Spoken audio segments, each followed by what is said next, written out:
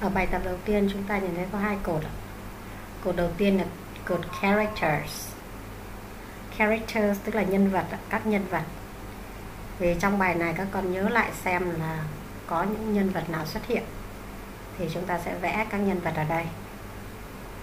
Sau khi vẽ xong, chúng ta sẽ viết ở dưới.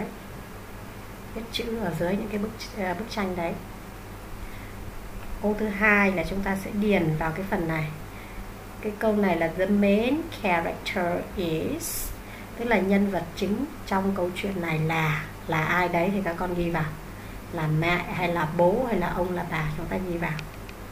Sau khi ghi xong thì các con sẽ vẽ một bức tranh về cái điều mà các con đã học từ cái nhân vật chính đấy. Ví dụ như nhân vật chính là bố thì các con à, đọc à, xong câu chuyện các con học được cái điều gì hoặc nhân vật chính là mẹ chúng ta học được gì, thì chúng ta vẽ một bức tranh ở đây.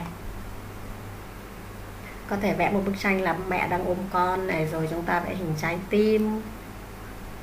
Đấy, sau đó chúng ta tô màu. Tiếp theo là chúng ta ôn tập về letter H. Thì từ nào bắt đầu bằng letter H, chúng ta viết ở dưới. Trong đây cô thấy có từ hat, hammer và horse bài cuối cùng là chúng ta được rèn kỹ năng là viết à, sau khi viết một câu chúng ta phải nhớ có dấu chấm.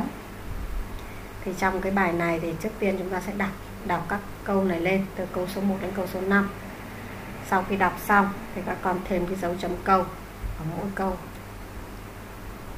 Còn phần dưới này là các con sẽ viết một câu của riêng mình về cái câu chuyện mà các con vừa mới đọc và nhớ khi viết xong con thêm dấu chấm.